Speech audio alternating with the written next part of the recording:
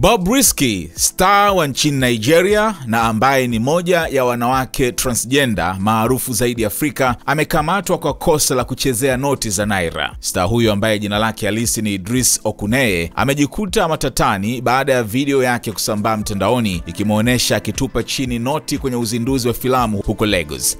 Kwenye video hiyo anaonekana akiwatunza waimbaji wa bendi kwa kuzitupa noti hizo sakafuni, kitu ambacho ni kosa kwa mujibu wa sheria nchini humo. Kamisheni ya makosa ya kiuchumi na kifedha Nigeria, EFCC, imeposti picha ya Bobrisky kwenye mtandao wa kijamii wa X na kuandika EFCC grills Babriski for naira abuse. Kwenye maelezo yake, EFCC imedai kuwa ilimkamata Babriski mwenye miaka 31 baada ya kuonekana akizirusha noti hizo mpya za naira kwenye uzinduzi wa filamu itwayo Ajakaju Machi 24 mwaka huu. Wamesema upelelezi wao umebaini kuwa Babriski amewahi kufanya vitendo kama hivyo kwenye sherehe nyingi huko nyuma. Aliitwa na kamisheni hiyo asubuhi ya Alhamisi hii kwa ajili ya kuhojiwa.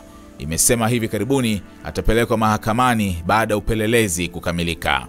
Mwezi Februari, mwigizaji aitwaye Oluwa Darasimi Omoseyin alihukumiwa kifungo cha miezi sita jela kwa kosa la kukanyaga na kuzichezea noti za naira. Nikukumbushe, kama unahitaji gari, basi Mtashi Motors wapo kwa ajili yako. Gari zote zipo ofisini, unalipia na kuondoka nalo. Wanakopesha kwa wenye vigezo, unalipia kuanzia asilimia 50. Wanaagiza kwa gari ambazo hazipo ofisini, wananunua magari na vilevile vile wanavunja, yani kubadili gari yako eh, na ya kwao. Wapigie simu sasa kwa namba 0717712221.